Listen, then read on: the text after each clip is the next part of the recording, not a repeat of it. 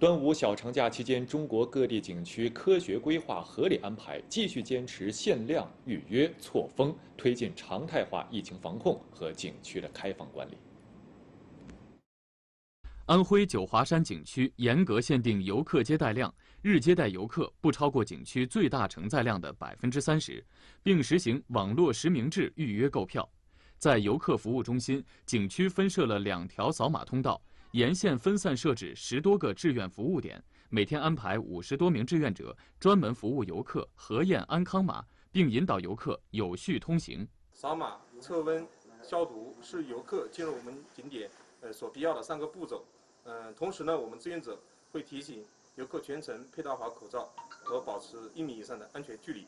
游览过程中，游客在做好自我防护的同时，也都积极配合景区防疫制度和要求，文明有序出游。据悉，端午小长假前两天，九华山预计接待游客1.6万人次，景区旅游秩序井然。小长假期间，张家界天门山景区继续通过实名制购票和分时段预约的方式，把入园游客人数控制在核定最大承载量的百分之三十以内，并开通双程索道往返的三线游览模式，以达到分流游客，避免游客扎堆。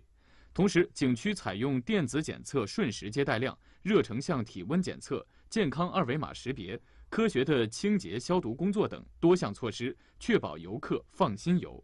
画糖画、吹糖人、捏面人儿，在泗阳县城子湖旅游度假区民俗体验区内，这些大家耳熟能详的非遗项目，不但能在现场看到作品，还能看到传承师傅制作的过程。画糖人的师傅在大理石板上缠两下，倒出糖块，加热搅匀，持咬着糖液的小铜勺，轻轻挥洒在大理石板上，画、勾、压、粘、铲。两三下，一个栩栩如生的蝴蝶就出来了，让孩子们甚是欢喜。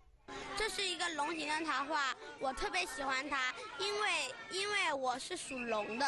而且这个画作也非常漂亮。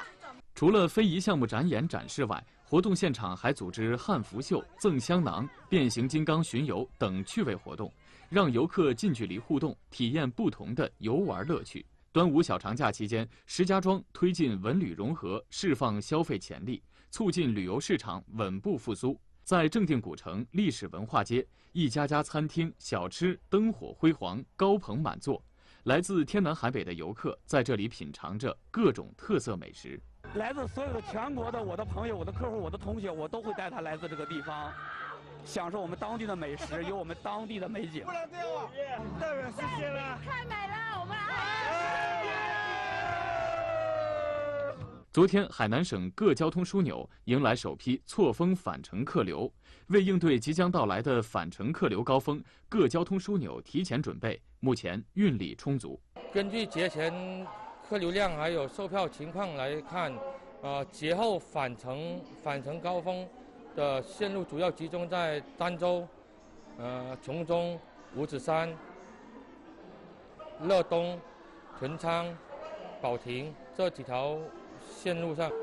票源还是比较充足，呃，可以满足广大旅客的出行。海口港提醒，岛外自驾返程的旅客需提前在网上预约购票。目前，针对跨区域出行，各运营部门仍然处于常态化的防疫状态，旅客必须提前准备好本人的健康证明，以免耽误行程。